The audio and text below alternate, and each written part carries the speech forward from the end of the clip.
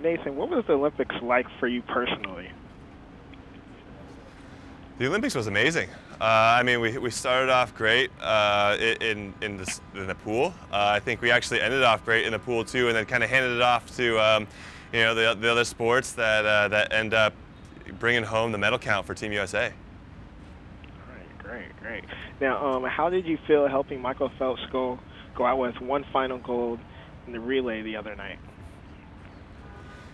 You know, it felt amazing. Uh, I, think it's it's something special to be on a relay with that guy, and uh, and knowing that when he dives in, he's just going to throw down a monster split, and and it just it it really uh, you know psychs me up to try to do the same myself.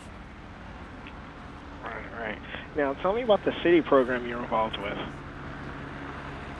So I've, I've, partnered with Citi for a uh, program called Stand for Progress. And uh, what we're trying to do is, is, encourage you know, kids, young adults, anybody really, to, uh, to use the hashtag Stand for Progress and share with us what your goals are.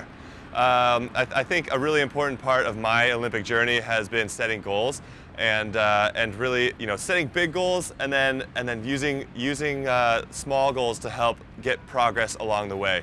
Um, that way, as long as you're just getting better, um, you know, and, and you're, you're achieving progress. Absolutely, absolutely. Now, how does it make you feel helping and mentoring students? You know, that, that feels that feels great. I think uh, you know one of the things that I that swimming has done well is is have a lot of athletes that are that are willing to give back. So when I was a younger athlete, you know, I got to see what they were doing, um, and and now that I'm in this position now, I think it uh, it was really important for me to find a way to give back.